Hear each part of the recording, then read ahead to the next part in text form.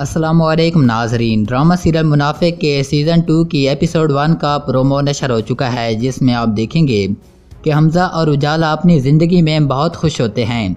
इसके बाद आप देखेंगे कि उजाला की तबीयत अचानक बहुत ख़राब हो जाती है, जिस पर हमज़ा उसे डॉक्टर के पास ले जाता है और डॉक्टर हमज़ा से ये कहते हुए सुनाई देती है कि, मुबारक हो, ये माँ बनने वाली है। डॉक्टर की ये बात सुनकर हमज़ा बहुत खुश हो जाता है।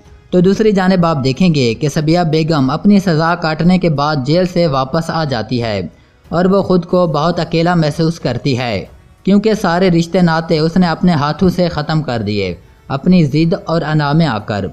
जबकि हमज़ा और उजाला अफान सबिया बेगम को देने का फैसला करते हैं। जी दोस्तों, आपको क्या लगता है, क्या हमज़ा और उजाला का अफान सबिया बेगम को देने का फैसला ठीक है या नहीं? हमसे अपनी राय कमेंट्स में ज़रूर शेयर करें और आप ड्रामा सीरियल मुनाफे के सीज़न टू के लिए कितने एक्साइटेड हैं? हमें कमेंट में ज़रूर बताएँ और वीडियो पसंद आने पर इसे लाइक करें।